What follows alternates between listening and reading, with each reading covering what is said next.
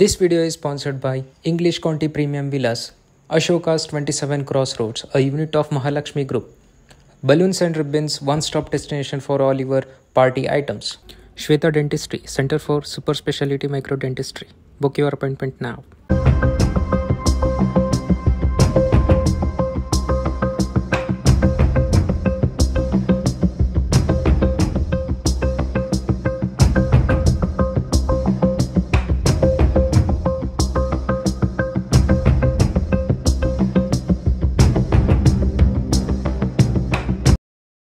Escape ಆಗ್ತಾನೆ ಅದಕ್ಕಿಂತ ಮುಂಚೆ ಅವನಿಗೆ ಒಂದು ಕಾಲ್ ಬರುತ್ತೆ ಎಸ್ಕೇಪ್ ಆಗ್ತಾನೆ ಆರ್ ಡಿ ಪಾಟೀಲ್ ಒಬ್ಬ ಸಾಮಾನ್ಯ ವ್ಯಕ್ತಿಯನ್ನಲ್ಲ ಆಡಳಿತ ಪಕ್ಷದ ಘಟಾನುಘಟಿ ನಾಯಕರುಗಳ ಸಂಪರ್ಕ ಅವನಿಗಿದೆ. ನೇರವಾದಂತ ಸಂಪರ್ಕ ಇದೆ ಅವರ ಬೆಂಬಲ ಇದೆ. ಅವರ ಬೆಂಬಲ ಇದ್ದಿದ್ರಿಂದಲೇ ಇವತ್ತು ಅವನು ಕಣ್ಮರೆಸಿ ಹೋಗ್ತಕ್ಕಂಥ ಪರಿಸ್ಥಿತಿ ಒಂದು ಉದ್ಭವ ಆಗಿದೆ. ಅಂದ್ರೆ ಒಂದು ಕಡೆ ಪೊಲೀಸ್ ಅಧಿಕಾರಿಗಳಿಗೂ ಕೂಡ ಕಿಮ್ಮತ್ತಿಲ್ಲ. ಮತ್ತೊಂದು ಕಡೆ ಹಗರಣ ಮಾಡಿಕೊಂಡು ಹೊಸ ಹೊಸ ಹಗರಣ ಮಾಡ್ಕೊಂಡು ಹೋಗ್ತಾ ಇರ್ತಕ್ಕಂಥ ಆರ್ ಡಿ ಪಾಟೀಲ್ಗೆ ಬೆಂಬಲ ಆಗಿ ಇವತ್ತು ಆಡಳಿತ ಪಕ್ಷ ನಿಂತಿರ್ತಕ್ಕಂಥದ್ದು ದುರಾದೃಷ್ಟ ಇದೆ. ಸರ್ ಈಗ ಈ ಹಿಂದೆ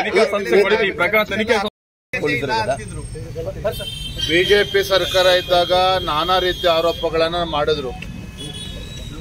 ನೇರವಾಗಿ ಹೇಳಬೇಕು ಅಂತ ಹೇಳಿದ್ರೆ ಇದೇ ಜಿಲ್ಲೆಯ ಕಲಬುರಗಿ ಜಿಲ್ಲೆಯ ಈಗಿನ ಉಸ್ತುವಾರಿ ಸಚಿವರೇನಿದ್ದಾರೆ ಅವರು ಕೂಡ ಭಾರತೀಯ ಜನತಾ ಪಾರ್ಟಿ ಮೇಲೆ ಗೂಬೆ ಕೂರಿಸ್ತಕ್ಕಂಥ ಕೆಲಸ ಮಾಡಿದ್ರು.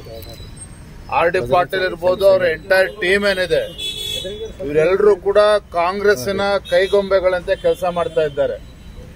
ಹಾಗಾಗಿ ಮತ್ತೆ ಏನು ಘಟನೆ ನಡೆದಿದೆ ಇವತ್ತು ಏನು ಆರೋಪಗಳು ಕೇಳಿ ಬರ್ತಾ ಇದೆ ಆರ್ ಡಿ ಪಾಟೀಲ್ ಮೇಲೆ. ಅವನು ತಪ್ಪಿಸ್ಕೊಂಡು ಹೋಗ್ತಕ್ಕಂಥ ಒಂದು ಪಿತೂರಿ ಏನ್ ನಡೆದಿದೆ, ಅದಕ್ಕೆ ಮಂತ್ರಿಗಳು ಮತ್ತು ಶಾಸಕರವನ್ನ ಸಹಕಾರ ಕೊಡ್ತಾ ಇದ್ದಾರೆ. ಒಟ್ಟಾರೆಯಾಗಿ ಇಡೀ ಕಾಂಗ್ರೆಸ್ ಪಕ್ಷ ಈ ರೀತಿ ಈ ವ್ಯಕ್ತಿಗಳ ಹಿಂದೆ ಬೆನ್ನೆಲುಬಾಗಿ ನಿಂತಿದ್ದಾರೆ ಅವರಿಗೆ ಶಕ್ತಿಯನ್ನು ತುಂಬುತ್ತಾ ಇದ್ದಾರೆ ಅಂತಕ್ಕಂಥದ್ದು ಮೇಲ್ನೋಟಕ್ಕೆ ಗೊತ್ತಾಗ್ತದೆ. ಆದರೆ ವಿನಾಕಾರಣ ಬಿಜೆಪಿ ಮೇಲೆ ಆರೋಪ ಮಾಡಿ ಇವತ್ತು ಅವ್ರಿಗೆ ಶಕ್ತಿ ಕೊಡ್ತಕ್ಕಂಥ ಕೆಲಸ ಮಾಡ್ತಾ ಇದ್ದಾರೆ. ಇದು ನಿಜವಾಗ್ಲೂ ಕೂಡ ಅದು ಖಂಡನೀಯ ಇದು. ಅಲ್ಲ ಯಾರು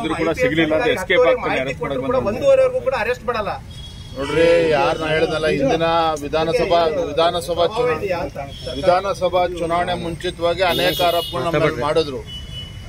ಆದ್ರೆ ನಿನ್ನೆ ಒಬ್ಬ ಐ ಪಿ ಎಸ್ ಅಧಿಕಾರಿ ಮಾಹಿತಿ ಕೊಟ್ಟರು ಕೂಡ ಅವನು ಹಿಡಿಯೋದಕ್ಕೆ ಸಾಧ್ಯ ಆಗಿಲ್ಲ ಅಂತ ಹೇಳಿದ್ರೆ ಕಣ್ಣಿಗೆ ಕಾಣಲಾರ್ದಂತ ಒಂದು ಶಕ್ತಿ ಇದರಿಂದ ಕೆಲಸ ಮಾಡ್ತಾ ಇದೆ. ಆರ್ ಡಿ ಪಾಟೀಲ್ ಜೊತೆಲಿ ಸರ್ಕಾರದಲ್ಲ ಸರ್ಕಾರದಲ್ಲಿ ಪ್ರಮುಖ ಹುದ್ದೆಯಲ್ಲಿರ್ತಕ್ಕಂಥವರೇ ಅವ್ರಿಗೆ ಬೆಂಬಲ ನೀಡ್ತಾ ಇದ್ದಾರೆ ಅನ್ನೋದು ಮೇಲ್ನೋಟಕ್ಕೆ ಸ್ಪಷ್ಟವಾಗಿ ಗೋಚರ ಆಗ್ತಾ ಇದೆ.